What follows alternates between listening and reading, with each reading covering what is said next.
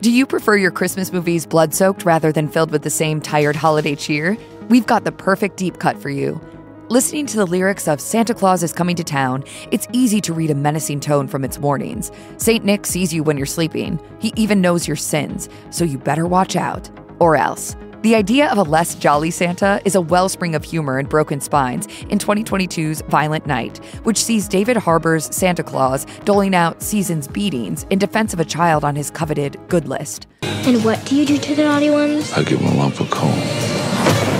The movie is plenty of fun, but what if you want more dark, offbeat meditations on Christmas?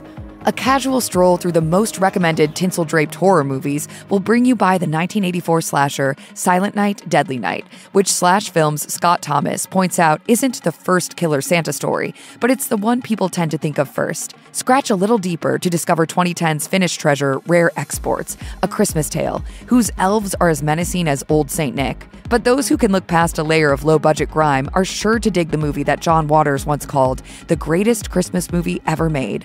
Enter the snowbound psychological extravaganza, Christmas Evil. The demented Christmas nightmare sits atop the heap of holiday centered horror that would pepper the 1980s. In the horror cinema chronicle Shock Value, how a few eccentric outsiders gave us nightmares, conquered Hollywood, and invented modern horror, New York Times critic Jason Zinoman credits Bob Clark's 1974 sorority slash fest Black Christmas as the movie to prime the pump for bloodbaths with a holiday in the title, with John Carpenter's Halloween popularizing the concept even further a few years later. As far as Yuletide horror goes, what began with the psychodrama of Christmas Evil and David Hess's sorority horror To All a Good Night in 1980 would continue with director Edmund Purdom exchanging a killer Santa for a Santa killer in his 1984 exploitation classic Don't Open Till Christmas. The mischievous Mogwai of Gremlins would get mainstream glory by the mid 80s, and the Silent Night, Deadly Night franchise would carry the candy striped baton into the following decade. Garbage Day! Huh? Among the entire subgenre, Jackson's take on Christmas twinkles the brightest, despite the frown it wears.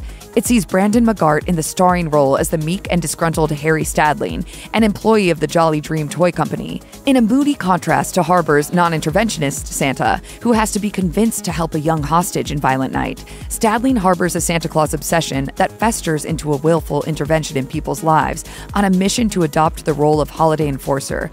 He keeps a list and checks it twice, and naughty Grinches get something nastier than a lump of coal. Christmas naturally embraces the dark and gloomy.